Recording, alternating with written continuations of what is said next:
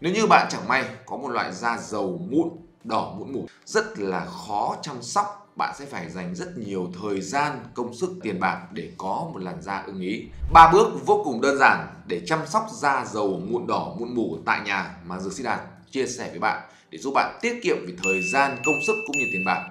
Nếu như bạn chẳng may có một loại da dầu mụn, đỏ mụn mủ như này, đây là một loại da kích ứng rất là khó chăm sóc bạn sẽ phải dành rất nhiều thời gian, công sức cũng như là tiền bạc để có một làn da ưng ý nhưng điều đó cũng xứng đáng thôi. Khi đó thì à, bạn sẽ cảm thấy tự tin hơn, vui vẻ và hạnh phúc hơn mỗi ngày. Còn nếu chúng ta làm không đúng quy trình, lựa chọn sai sản phẩm thì tình trạng da mụn nó rất khó cải thiện, sẽ để lại những cái vết thâm đen, nếp nhăn, lão hóa sớm và khiến bạn mất tự tin. Và video này, The Đạt sẽ chia sẻ với các bạn các bước vô cùng đơn giản để bạn có thể chăm sóc ngay tại nhà mà không cần phải tốn quá nhiều chi phí. Được chưa? Đầu tiên, Dược sĩ Đạt có một số lời khuyên dành cho các bạn như sau để chăm sóc tình trạng da dầu, mụn đỏ, mụn mủ như này. Thứ nhất là chúng ta không được sông hơi, không được đắp lá, không được đá nóng, đá lạnh hay bất kỳ một cái gì khác lên cái làn da của bạn, lên cái vùng bị mụn.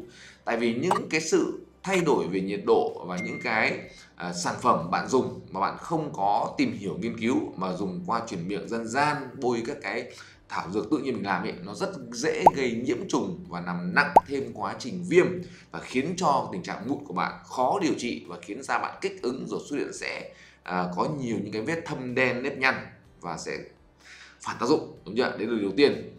Và cái điều thứ hai là bạn phải chống nắng. Có rất nhiều người nói với chúng ta rằng à chống nắng thì khiến cho mụn nó đỡ hơn. Các bạn không chống nắng thì cái tia UV nó sẽ khiến cho cái tình trạng viêm tình trạng mụn mủ của bạn nó trầm trọng hơn và cái quá trình nó xuất hiện những cái vết thâm đen những cái nếp nhăn da sẽ uh, nhiều hơn và khiến bạn rất là mệt mỏi khi chúng ta chăm sóc làn da này và cái thứ ba mà dược sĩ đạt chia sẻ với bạn, đó chính là bạn cần phải có một chế độ sinh hoạt lành mạnh hơn, khoa học hơn.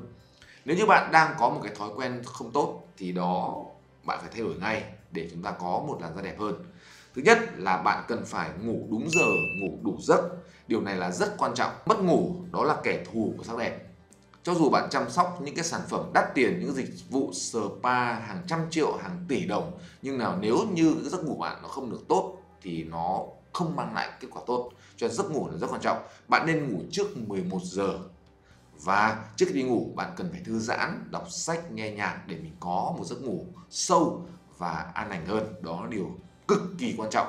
Cái thứ hai nữa đó là chúng ta phải thay đổi chế độ ăn uống à, chúng ta phải hạn chế những cái đồ ăn nhanh những cái đồ cay đồ nóng đúng không? Như mì tôm đúng không? Rồi thì uh, mì cay các cấp độ đúng không? Những cái đồ chiên xào đúng không? Vân vân. Những đồ như vậy nó sẽ khiến cho cái quá trình chuyển hóa của gan nó bị hạn chế. Và khi gan nó không lọc được đúng không? Gọi là nóng gan đấy thì nó cái chất độc đó cái chất không tốt đó nó sẽ đi vào trong hệ tuần hoàn và đến các cái tổ chức da và nó sẽ khiến cho quá trình lão hóa nó nhanh hơn và làm cho da nó sập sệ và xấu rất nhiều và cái thứ ba là bạn cũng phải cần phải có một chế độ vận động phù hợp, vận động để giúp cho quá trình chuyển hóa và lưu thông khí huyết nó tốt hơn.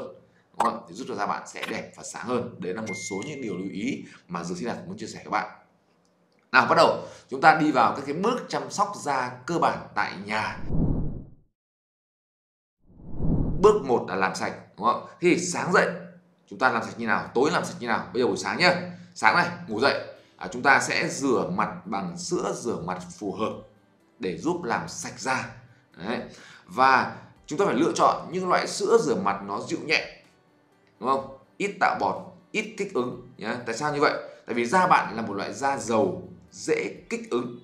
Nên là mình dùng sai loại thì nó sẽ khiến cho tình trạng gì ạ? Nó sẽ căng nó sẽ nóng rát và khó chịu hơn. Đấy. Ví dụ bạn có thể dùng các loại sữa rửa mặt dịu nhẹ nó có chứa axit salicylic này, có thể là tinh chất lô hội này, có thể là niacinamide này, đúng không ạ? Những cái đó nó vừa chống viêm, tẩy tế bào chết, nó thấm sâu vào à, lỗ chân lông để đẩy ra các cái tế bào chết trên da.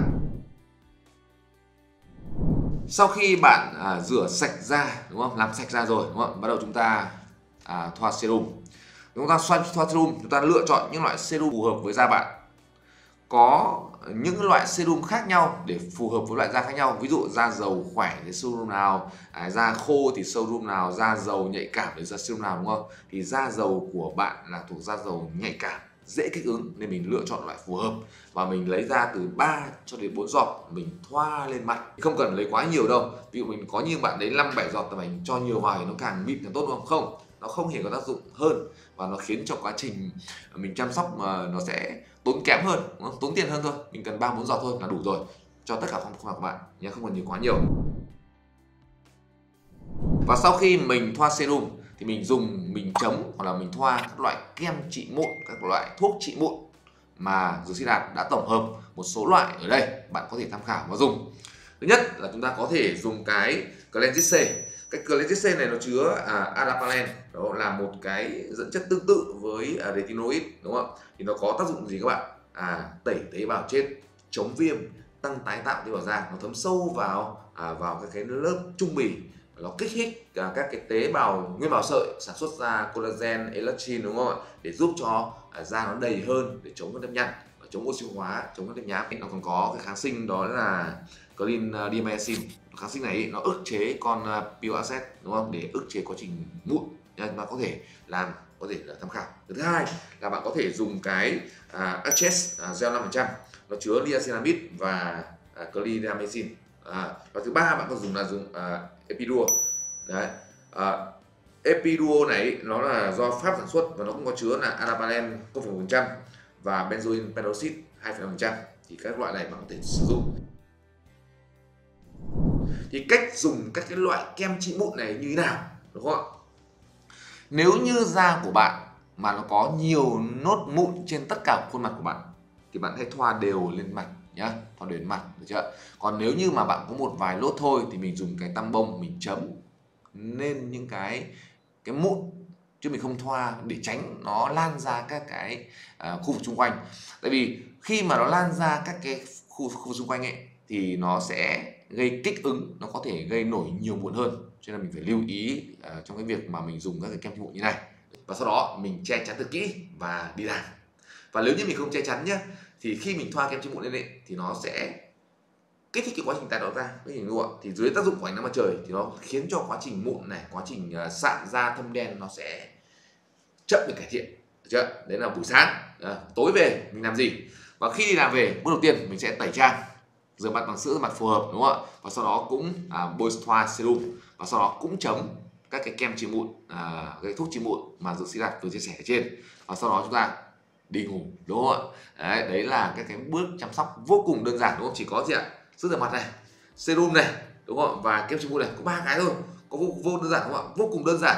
Đấy, ngoài ra thì bạn cũng có thể dưỡng ẩm nhé có thể dưỡng ẩm.